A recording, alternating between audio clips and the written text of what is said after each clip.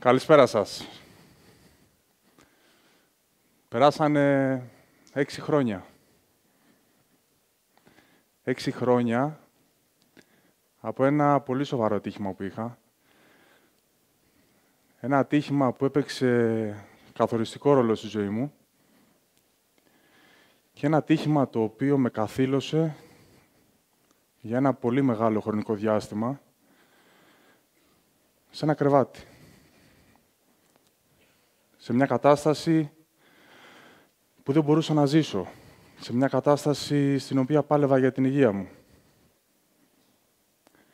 Τη μία μέρα ήμουν ένας νέος, δίψαγα για ζωή, κυνηγούσα τα όνειρά μου. Είχα την υγεία μου. Και όπως και όλοι μας, τα απλά πράγματα της ζωής τα θεωρούσα λίγο δεδομένα. Και την άλλη μέρα ξύπνησα έτσι. Ξύπνησα έτσι, ύστερα από 1,5 μήνα στην εντατική, χωρίς να έχω καμία επαφή με τον εξωκόσμο. Ξύπνησα έτσι και ξεκίνησα να παλεύω πάλι από την αρχή. Ξεκίνησα να παλεύω πάλι και να προσπαθώ να κατακτήσω όλα αυτά που μέχρι τότε μοιάζαν ασήμαντα, ήταν κάτι καθημερινό. Βγαίνοντας λοιπόν από το νοσοκομείο,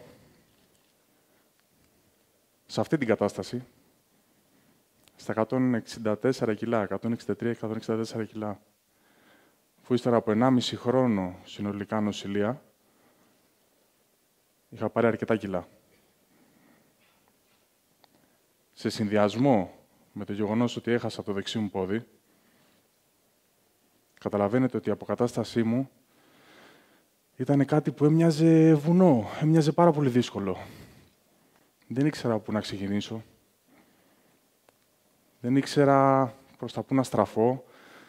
Δεν ήξερα με τι, με τι να ξεκινήσω να ασχολούμαι, ώστε να ξαναγίνω πάλι ο Ιδεοκλής που ήξερα, ο Ιδεοκλής που θυμόμουν από πάντα. Το μόνο που ήξερα ήταν ένα, ότι ο δρόμος ήταν πολύ μεγάλος. Και ήμουν σίγουρος, και αυτό που κατάλαβα από την αρχή, και έπαιξε πολύ σημαντικό ρόλο στην αποκατάστασή μου, ήταν πως αν δεν δυναμώσω εσωτερικά και πνευματικά, δεν θα κατάφερνα ποτέ να ανταπεξέλθω σε όλα αυτά που έρχονται. Ήξερα ότι είναι πράγματα δύσκολα. Μου είπανε στο νοσοκομείο γιατροί, Θεοκλή δεν πειράζει, μπορεί να έχασε το πόδι σου, αλλά δεν είναι τίποτα, δεν είναι πρόβλημα. Είναι μια μορφή αναπηρίας, αλλά δεν είναι πρόβλημα. Σαν άνθρωπος είμαι ρεαλιστής. Και τους απάντησα ότι για να γεννιόμαστε αρτιμελείς, το να χάνεις ένα μέλος σώματός σου φυσικά και είναι πρόβλημα. Είναι φυσικό και επόμενο όμως, και αυτό που έχει σημασία, είναι ότι είναι στο χέρι μας, το αν αυτό το πρόβλημα θα το κάνουμε να μοιάζει μικρό ή μεγάλο στη ζωή μας. Το τι ρόλο θα παίξει αυτό το πρόβλημα στην καθημερινότητά μας, αυτό είναι στο χέρι μας. Και έτσι λοιπόν ξεκίνησα τον αγώνα μου. Ξεκίνησα να ψάχνω τη λύση για το πρόβλημά μου, για αυτό το τεράστιο πρόβλημα που δεν ήξερα, δεν ήξερα το πότε, δεν ήξερα πόσο χρόνο θα μου πάρει. Δεν ήξερα πότε θα τα καταφέρω.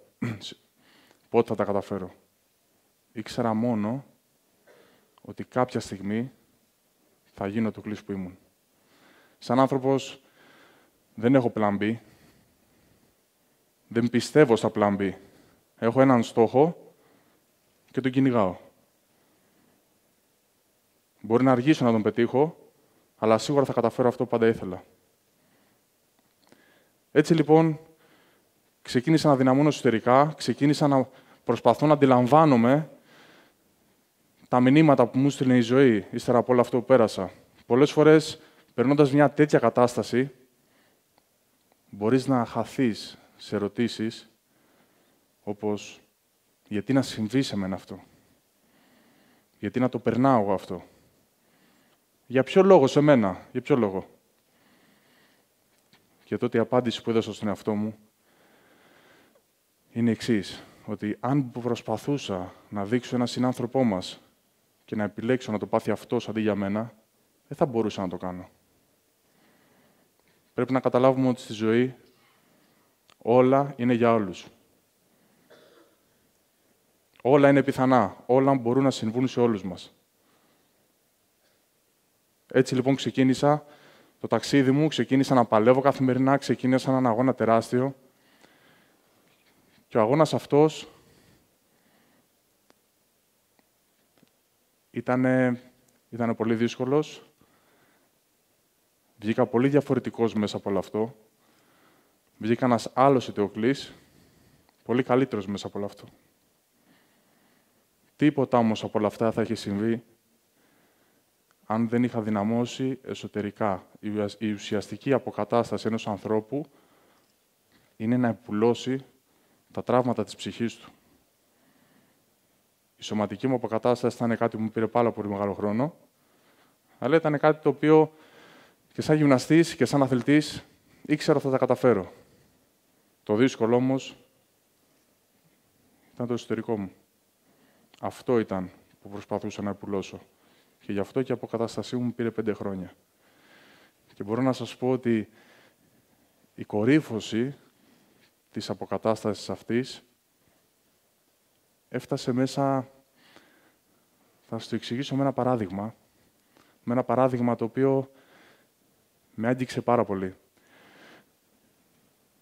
Ξεκίνησα να γυμνάζομαι τα πρώτα δύο χρόνια κιόλας και πήγαινα σε γυμναστήριο της γειτονιάς μου. Μετά από τέσσερα χρόνια ήμουν ήδη σε μια πολύ καλή κατάσταση. Κάποια στιγμή, στα ποδητήρια, με πλησιάζει ένας, ε, ένας νέος και μου λέει συγχαρητήρια κύριε Τοκλή, μου λέει μπράβο σας, αυτό που έχετε καταφέρει, πραγματικά μου λέει είναι αξιοθαύμαστο και σας χαιρόμαστε που σας βλέπουμε. Μου λέει ο αδερφός μου, έχασε το πόδι του πριν 1,5 χρόνο, ήταν τότε 21 ετών, Προσπαθώ να τον ε, φέρω στο γυμναστήριο, προσπαθώ να τον εντάξω πάλι στην καθημερινότητα, να θέσω καινούργιους στόχους. Αλλά δεν έρχεται. Δεν έρχεται γιατί προφανέστατα φοβάται το τι θα πει ο κόσμος στην ουσία. Φοβάται να τον αντικρίσουν, φοβάται το πώς θα τον αντιμετωπίσουν για την αναπηρία που έχει. Αυτό που το συμβούλεψα είναι, φέρ τον αδερφό στο γυμναστήριο, πάρε με ένα τηλέφωνο και πες μου απλά ότι ανεβαίνεις πάνω. Δεν χρειάζεται να μιλήσω με τον αδερφό σου, δεν χρειάζεται να συναντηθούμε. Απλά πάρε με ένα τηλέφωνο και πες μου ότι ανεβαίνεις. Έτσι λοιπόν και έγινε. Παιδιά, ήρθε στο γυμναστήριο, με πήρε τηλέφωνο, μου είπε ότι ανεβαίνουν και εγώ η μόνη κίνηση που έκανα ήταν απλά να βγάλω το πόδι μου, να, βάλ, να ανέβω στο μονόζυγο και να συνεχίσω να γυμνάζομαι. Σας πληροφορώ, δεν μιλήσα ποτέ με αυτό το παιδί. Μόνο με τον αδερφό του. Εγώ συνέχισα τη γυμναστική μου και μετά έφυγα, πήγα σπίτι μου. Το παιδί αυτό, επειδή με τον αδερφό του έχω κρατήσει άριστες σχέσεις, όχι μόνο πήγε στο γυμναστήριο, συνέχισε, πήγαινε καθημερινά, γνώρισε πλέον και κοπέλα στο γυμναστήριο, έψαξε τη ζωή του, και πλέον είναι ένας υγιής άνθρωπος, ένας υγιής άνθρωπος με καινούριους στόχους. Και έρχομαι και συμπληρώνω σε αυτό που σας είπα πριν, ότι η κορύφωση της εσωτερικής αποκατάστασης έρχεται μόνο με την προσφορά. Μόνο προσφέροντας μπορείς να γεμίσεις και να επουλώσεις τα τραύματα που έχουν προέρθει από έναν τέτοιο τραυματισμό και από ένα τέτοιο σοκ που μπορεί να έχεις πάθει. Και αυτό είναι και το μεγαλύτερο μήνυμα που μπορείς να δώσεις. Κάτι τόσο άσχημο, κάτι φαινομενικά τόσο άσχημο, πώς θα μπορέσεις να το μετατρέψεις και να το αξιοποιήσεις σε κάτι όμορφο. Πολλές φορές ακούμε δικαιολογίες του τύπου «δεν μπορώ, δεν προλαβαίνω, θέλω να κάνω τόσα πράγματα, αλλά δεν μπορώ να τα κάνω, δεν έχω το χρόνο να τα κάνω». Είμαι γυμναστής και πολλοί μαθητές μου λένε Ετεοκλή, δεν προλαβαίνω να γυμναστώ. Δεν προλαβαίνω να. Έχω τόσα όνειρα και δεν προλαβαίνω να τα κάνω. Γιατί έχω υποχρεώσεις. Μέσα στο νοσοκομείο γνώρισα ανθρώπους που πραγματικά δεν μπορούσαν. Και δεν μπορούσαν Γιατί δεν είχαν την υγεία τους. Δεν είχαν καν την ελπίδα ότι κάποια στιγμή θα μπορέσουν να βγουν έξω και θα κυνηγήσουν τη ζωή τους. Σας πληροφορώ ότι για όλους εμάς, και βάζω και τον εαυτό μου εννοείται μέσα, η χειρότερη μας ημέρα, μια μέρα η οποία για μας θα είναι στην κρίνια, που τρέχουμε με όλες τις υποχρεώσεις που έχουμε, για κάποιους ανθρώπους θα ήταν η καλύτερη της ζωής τους. Υπάρχουν άνθρωποι οι οποίοι θα δίναν τα πάντα για να ζήσουν τη χειρότερη μας ημέρα. Και έρχομαι και λέω πως απέναντι σε όλους αυτούς τους ανθρώπους, απέναντι στους ανθρώπους που ξυπνάνε καθημερινά και ελπίζουν απλά ότι θα ζήσουν και απλά ότι θα περάσει άλλη μια μέρα και απλά θα βλέπουν το φως της ημέρας. Απέναντι σε όλους αυτούς τους ανθρώπους, όλοι μας, και όταν λέω όλοι μας το εννοώ, έχουμε ένα άτυπο χρέος. Έχουμε ένα άτυπο χρέος να δίνουμε τον καλύτερό μας σε αυτό. Να δίνουμε τον καλύτερό μας σε αυτό καθημερινά. Να κυνηγάμε τη ζωή, να κυνηγάμε τα όνειρά μας και να μην τα παρατάμε ποτέ. Και αυτή είναι η λύση για ό,τι πρόβλημα και αν έχουμε. Δεν υπάρχει μεγαλύτερο κίνητρο, δεν υπάρχει μεγαλύτερο κίνητρο στη ζωή από την ίδια τη ζωή. Όλοι αναζητούμε κάποιον να μας τραβήξει. Όλοι αναζητούμε το κίνητρο. Αλλά στην ουσία το έχουμε και δεν το βλέπουμε. Μόνο το ότι ξυπνάμε και έχουμε την υγεία μας είναι ένα κίνητρο από μόνο του. Και μιας που είμαι νιώπαντρος, θα σας πω ότι με αφορμή τη σχέση με τη γυναίκα μου, πολλές φορές ερωτήθηκα και μου είπανε η γυναίκα σου δεν σου είπε ποτέ αν έχει πρόβλημα, αν την ενόχλησε, αν την πείραξε ποτέ, που έχεις προς το μέλος, που έχεις μια μορφή αναπηρίας. Και δεν είναι κακό να το πω. Είναι μια μορφή αναπηρίας. Το τι θα περάσει στον άλλον έχει να κάνει καθαρά με σένα. Αν εγώ πιστέψω ότι έχω πρόβλημα, αυτό θα καταλάβετε κι εσείς. Αυτό θα καταλάβει και η γυναίκα μου και ο περίγυρός μου και όλοι. Δεν πέρασα στη γυναίκα μου ποτέ κάτι τέτοιο. Δεν πέρασα ποτέ στη γυναίκα μου ότι είχε έναν άνθρωπο ο οποίος δεν μπορεί κάτι να κάνει. Μάλιστα, θα σα πω και κάτι που έχουμε πει και σε μια συνέντευξη. Όταν πρωτογνωριστήκαμε, μου λέει: Υπάρχει κάτι που δεν μπορείς να κάνεις. Και της απάντησα: Βρες κάτι που δεν μπορώ να κάνω και σου υπόσχομαι πώ θα το κάνω. Δεν ξέρω πώς αποδέχετε, παιδιά.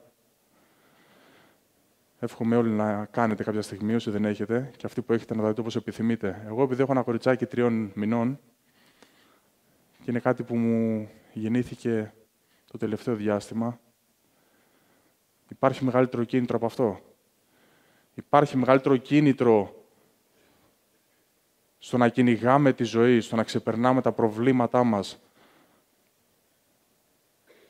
από το μήνυμα που μπορούμε να μεταδώσουμε στα παιδιά μας; Δεν υπάρχει μεγαλύτερο κίνητρο. Μόνο που το σκέφτομαι είναι τόσο συγκινητικό το πόσα πράγματα θέλω να περάσω στο παιδί μου, το πόσα πράγματα θέλετε να περάσετε και εσείς στα παιδιά σας. Τα παιδιά παραδειγματίζονται από αυτά που βλέπουν από τις γονείς, όχι από τις συμβουλές των γονέων. Και αυτό θέλω να κάνω κι εγώ για το παιδί μου. Θέλω να βλέπει τον πατέρα της να προσπαθεί για τα πάντα. Θέλω να βλέπει τον πατέρα της να μην τα βάλει ποτέ κάτω. Ό,τι και να του συμβεί όσο δύσκολη και αν είναι η ζωή, δεν θα τα βάλει ποτέ κάτω. Έρχομαι και σας λέω υπεύθυνα και σας δίνω το λόγο μου. Σε όλους εσάς, οι οποίοι είστε εδώ μέσα, και απέναντι σε όλους αυτούς τους ανθρώπους, τους οποίους γνώρισα στο νοσοκομείο, σας δίνω το λόγο μου ότι θα γίνω η καλύτερη εκδοχή του Αιτιοκλή Παύλου που μπορεί να υπάρξει. Σας δίνω το λόγο μου ότι δεν θα αφήσω καμία μέρα να πάει ανεκμετάλλευτη και σας δίνω το λόγο μου πως θα κυνηγάω για πάντα τα όνειρά μου. Για όλους αυτούς τους ανθρώπους που δεν μπορούν να το κάνουν. Σας ευχαριστώ πάρα πολύ.